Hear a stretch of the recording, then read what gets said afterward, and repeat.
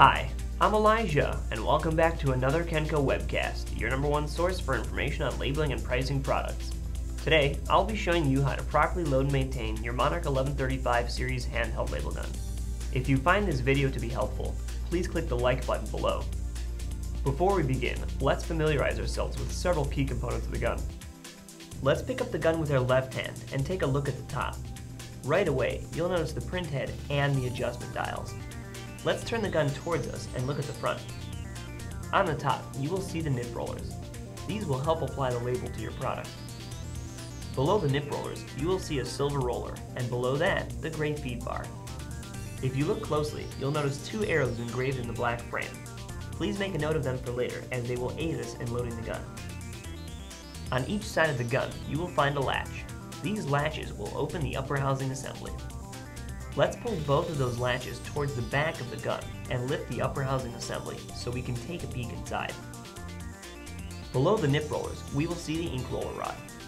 On the side of the ink roller rod is a white button that ejects the ink roller from the rod.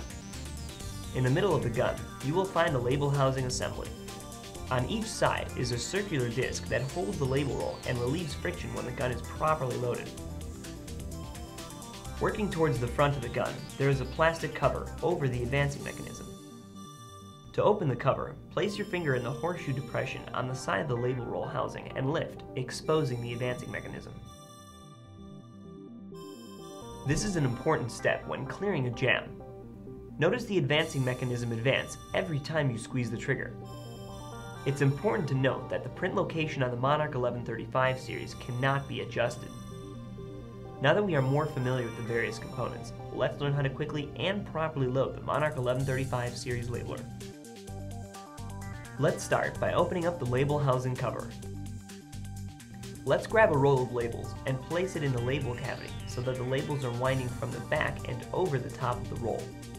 These blank labels in assorted colors can be custom printed with your information and are available through Kenco.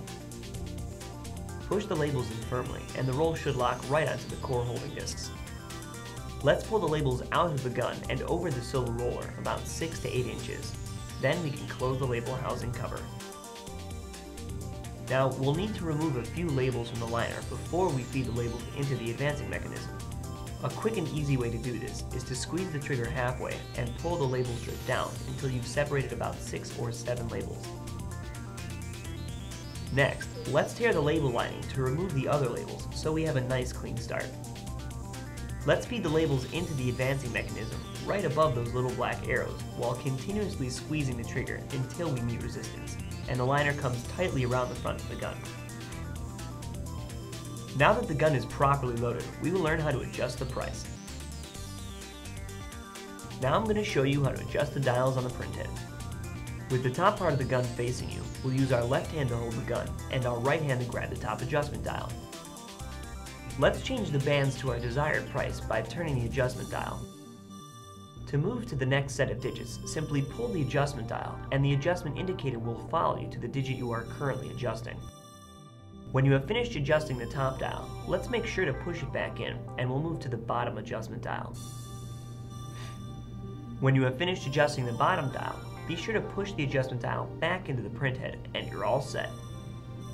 Now that we know how to properly load and adjust the Monarch 1135 label gun, let's learn how to change the ink roller.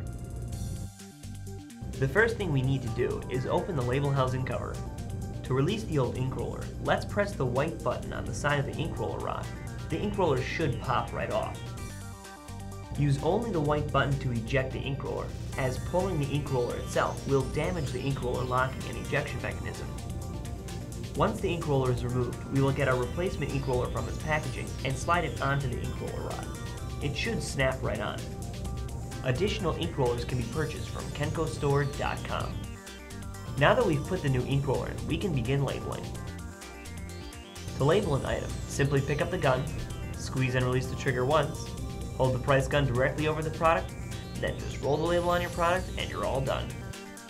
This has been another Kenco webcast. For more information and outstanding prices on these products, visit us on the web today at www.kencostore.com or call us toll free at 1 800 86 Kenco.